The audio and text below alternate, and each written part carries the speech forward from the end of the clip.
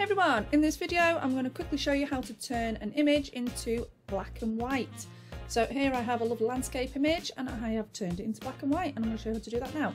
So here's a colourful image um, and the thing that you're going to use, the tool that you're going to need to use is down here on the right hand side there's a little adjustment layer to circle with a little line through it and if you click on that you'll get access to the black and white adjustment layer. There's others other um, adjustment layers in here and I do recommend that you have a little practice and a little play when you ever get a chance and just see, see what they all do. But click on the black and white one and it's simple as that. So it's now turned to black and white.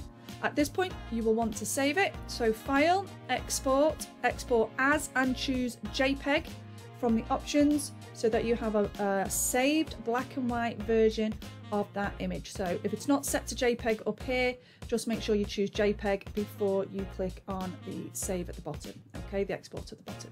Um, now that's the simple way.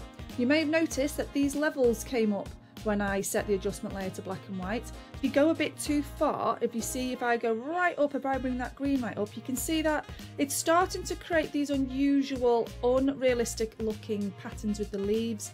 Um, and you will get that if you go a little bit too far on these levels. But that might be something you want to do. This look you know this could be something creative that you want to try out.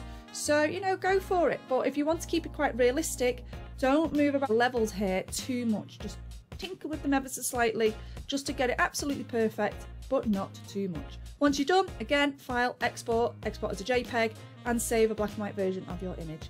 Okay everybody have fun